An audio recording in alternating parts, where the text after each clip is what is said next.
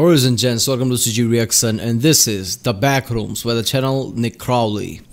One wrong step and you could find yourself in the backrooms, an endless prison that few ever escape, a place where no man should ever go.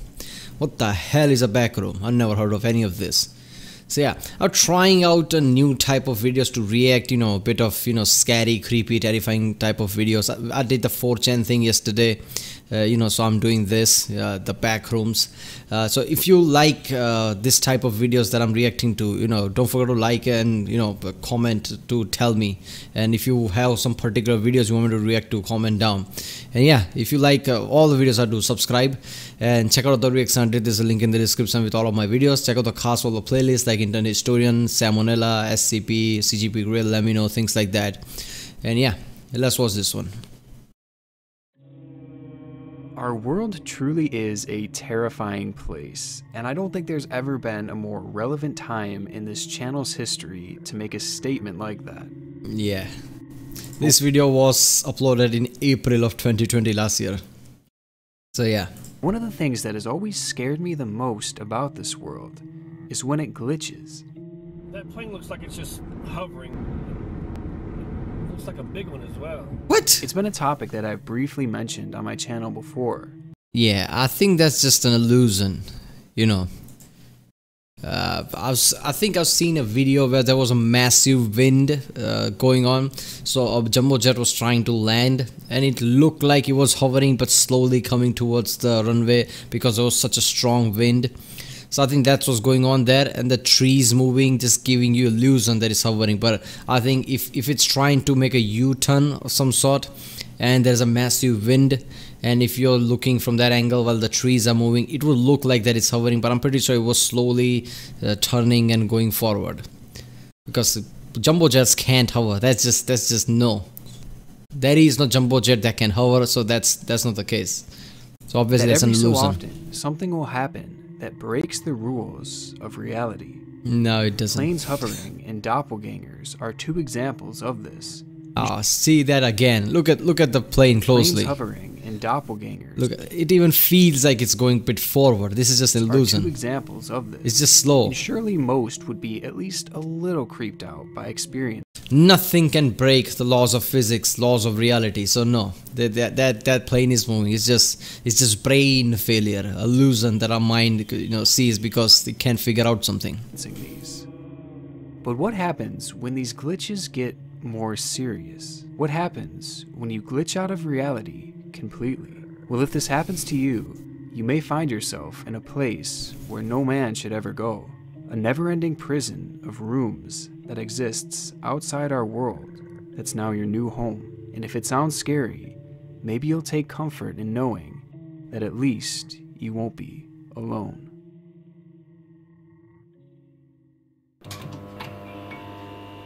Okay, so backrooms are not really real. Just people have this, I guess, illusions or something.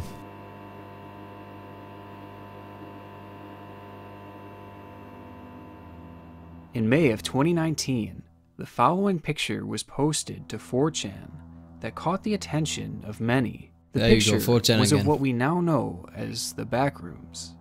Something about it, the emptiness, the tone, just gave people bad vibes and summed up the. Dude, you never seen an empty building? I mean, for some reason it was empty. Maybe the last owner was, you know, moving out before the new owner came in. I mean, it was a newly built building. Who the hell knows? It's just an empty rooms. What's wrong with that? I just, you know, built, you know, another floor on my house and that was empty too if i had put a, you know take a picture of that at at the just right time at evening or like 8 p.m or something and put it on some forum that would look creepy so what? It's empty room? Photo was incredibly unsettling. Along with the photo a caption was added that claimed that the back rooms go on for an impossible distance and every room looks the same. It is said that there are a few ways to wind up trapped in these back rooms. Some say that they can be accessed through your dreams or even seen in visions. Because of this, many claim to recognize the picture and even felt some sort of nostalgic fear oh, when seeing it. Fuck's sake. But others claim our mind might be really complex but in certain ways it's really simplistic for a reason. So th- there is not much of confusion. So our mind see uh, only some type of patterns. So if something even is somewhat similar to what you've seen in the past even a bit similar your mind takes that as a pattern and remember it like that. So even if you've seen something that is just mildly similar to that you'll be like oh i've seen that before I remember there's the deja vu effect. Have you? Do you remember if the first time you hear a song, and at that time, whatever you're going through, whatever your time period, whatever you're feeling, that gets imprinted in that song. If you hear that song after four or five years, you're gonna suddenly have this surge of feeling and you know remember all the perfectly. It's a better way to remember things than just remembering. If you just remember, you remember visually somewhat. If you remember it through songs or something like that, there is just more to it so just your mind just captures something as patterns. That doesn't mean you've seen that. You've seen some other empty room that you can't figure out. Just the lighting was right, and this lighting is just similar. So your mind is like, oh, I've been here. Claim that the only true way to get there is much more difficult, and it requires a tremendous amount of luck, or perhaps in this case, the exact opposite. It's theorized that every object we interact with in this world is clipped to our reality. So, for example, when you bump into a wall, you collide with it and you bounce off of it. But going back to glitches in our reality, it is said that on occasion, objects within our world will no clip. This is something that happens often in video games, where a part of the map. What you go to Hogwarts? there will be no clip, so you go through the wall, you go to Hogwarts. Becomes no clipped, and you bump into it, you go right through it, and you sometimes end up falling right off the map. There, your player is stuck, still inside the game, but in an endless void beneath the map.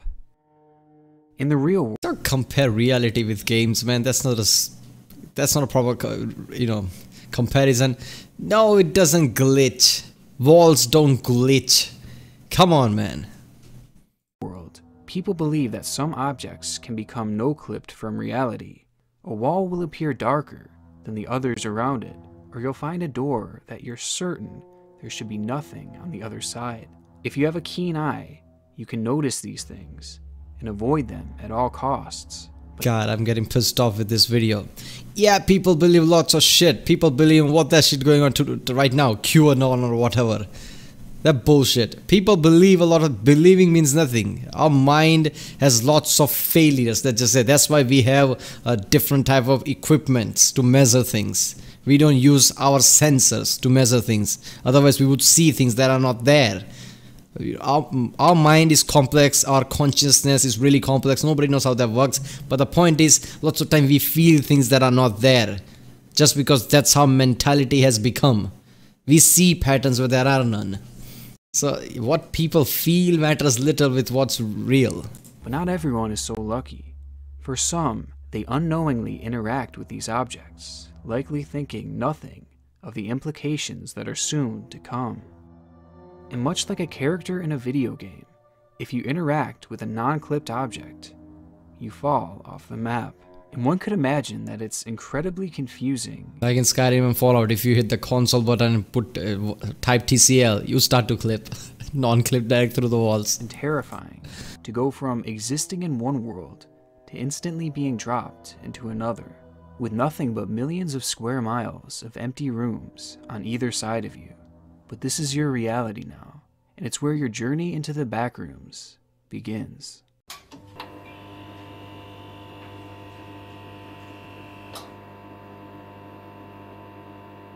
Level 0 is a maze of monotone yellow rooms, each looking the same as the last, with only the slightest of variations. The carpet that covers the level is moist and creates a persisting scent.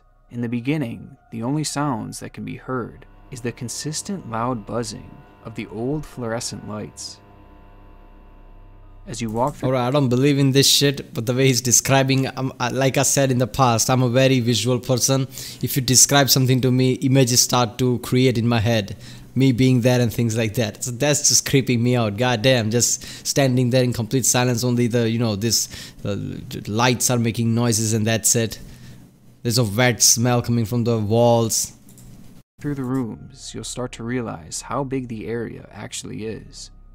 Every room just leads to another and another. You start to wonder how big of an area could this actually be, and how could this even be possible? Many will start to run and sprint through the rooms thinking that this might get them out of this maze faster, but it's no use. And after running around for seemingly an eternity, you'll finally realize that you're likely going to be stuck in here for a while. This is like that SCP Infinite IKEA. Those I don't know what those people are called, but the, the, some people has that issue of you know getting crowded, feeling like like if walls are too you know small, if the room is too small, they feel uneasy, so they have to go outside. Otherwise, they panic. Those people who die with shock if they get trapped in things like this. What exactly this place is, is not known, and that's part of the mystery of it all. It's just an infinite maze of these off putting rooms, and traversing a place like this would likely cause anyone to slowly lose their minds. It's believed that not many will survive this first level, and that's for a few reasons. Either they lose the will to carry on, or they encounter something. While walking through these rooms, you may find yourself encountering humanoid creatures. After walking for hours and maybe even days, just imagine the horror of turning the corner. What the fuck was that? what was that? Damn. Some, I guess, person who's lost his mind or something, I don't know. And seeing something standing there. Something that isn't human. What the fuck? These creatures are known as hounds, and they look like disfigured humans who walk on all fours. They make a low rumbling noise, which will serve as one of the only indications that you're near them before it's too late. On this level, these creatures are supposedly incredibly dangerous. If you happen to notice one, slowly back away in the opposite direction, and whatever you do, don't look at it. If you're lucky enough to survive your encounters with these creatures and the never ending maze, then you may have a chance at escaping this level. Every so often, as you walk through these identical rooms, you'll find a wall that is slightly darker than the others. This is an indication that this too has been no clipped, and it's possible that running into this wall will take you back to the world you knew before, and there you'll be able to continue living your normal life but doing so comes with a risk. Who is coming up with all this? Is is this some kind of game thing? Like, look, I saw first time I saw SCP introduction video. I'm like, what is this? Is this something real? What? I didn't know what the fuck SCP was. Then I realized, oh wait a minute, this is some kind of fictional world. Is this what that is, or is this what people actually believe? Because that's the case. Let's just say video game has is just a big thing for past two decades, and people have wild imagination video games have back rooms like this for developers to you know, screw around especially bethesda games. So i guess a bethesda fan just created this thing i guess. Who the hell knows?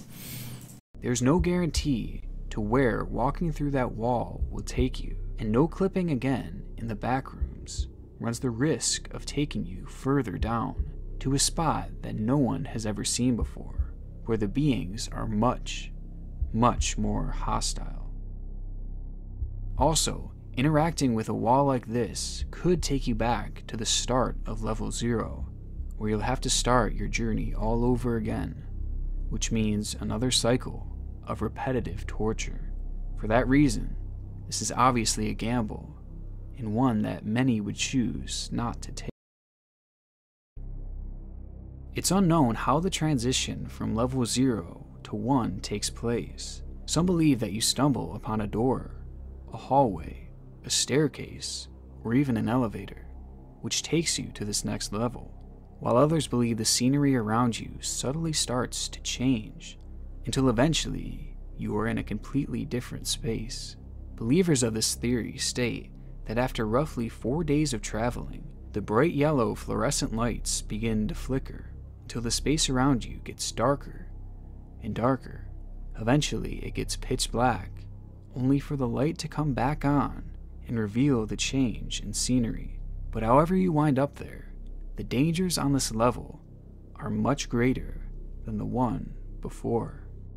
Every level has even greater danger. Tell me how somebody who loves playing game didn't come up with this.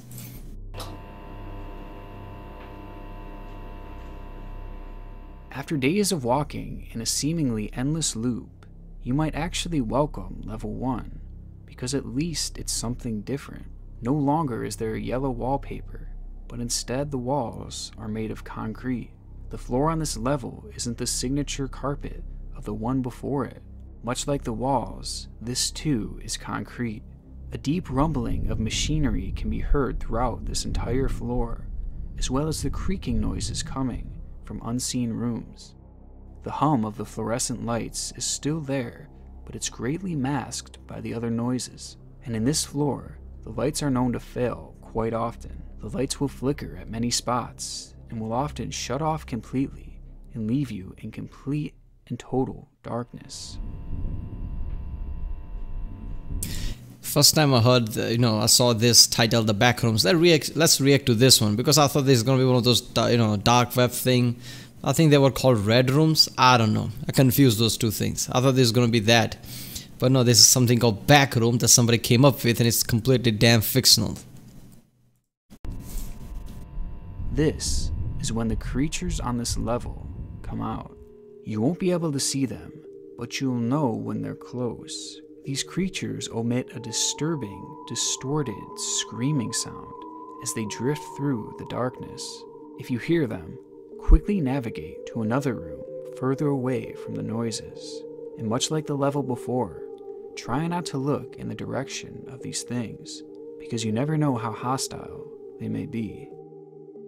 Part of what made level 0 so scary was the isolation. This is creepy as fuck though. The idea that it is only you and just a few other creatures within this labyrinth of walls.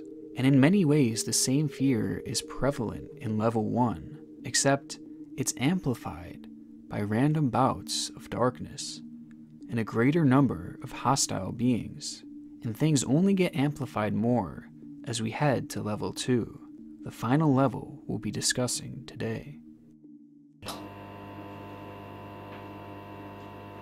As you walk through level 1, the walls around you will begin to change. The vast rooms will become narrowed to the point where you're walking in long continuous hallways.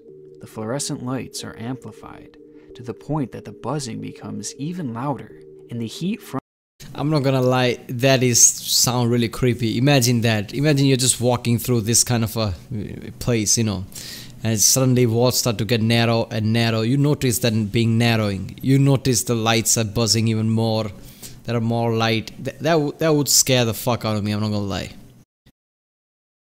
from them causes the temperature to soar over 100 degrees fahrenheit the hallways are claustrophobic and resemble service tunnels as there is piping and machinery lining the walls pretty much any being you encounter on this floor is hostile and your only chance of escaping, once you see a figure, is to run the opposite way and don't look back. To many, this is considered to be the final level of the backrooms. It's a fairly unexplored and mysterious place that features no real exit points. Your chances of ever escaping the backrooms, in general, is incredibly low, but your chances of escaping level 2 is apparently nearly impossible. For the few that have supposedly survived this level, they did so by simply accepting the situation, remaining totally calm, and imagining the back rooms as their home. That's your only chance of escape, and if it doesn't work, then your fate is pretty much sealed. And even after all the pain and the wear that you've gone psychologically that would work he's saying that things like this happens in your dreams obviously your mind is creating that so if you believe you can escape if you believe this is just like your home and you stay calm your mind will create it like that so i guess there's some scientific thing here but i don't know this is just stupid through in levels 0 and 1 this is where your journey into the backrooms end Alright, I just got the ad for the US Air Force. Join the fight. US Air Force. I don't have VPN on. Why the fuck is that ad in India? The backrooms are something that genuinely creep me out, and that's something that isn't always easy to do. The psychological horrors of traversing such a vast and terrifying landscape out of the reach of reality is a horrifying thought. But is there actually any truth to this? Are the backrooms actually real? Well, it appears that this is all just another creepy pasta. It is such a fascinating concept to me, and the story involved with it is scary Really? even No knowing shit. full well that this is likely total fiction. The very idea of the backrooms speaks to the very essence of the things that terrify us the most. Unknown. The fear of being lost, the fear of being trapped, and the fear of being watched and hunted.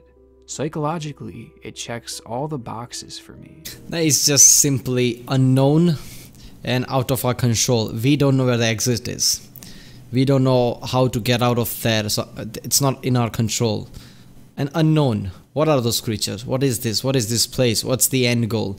Unknown is the biggest fear a person can have. When you see a dark place, non-illuminated place, uh, you, you you get scared. Why? Because darkness is scary. No, but th- there could be anything there.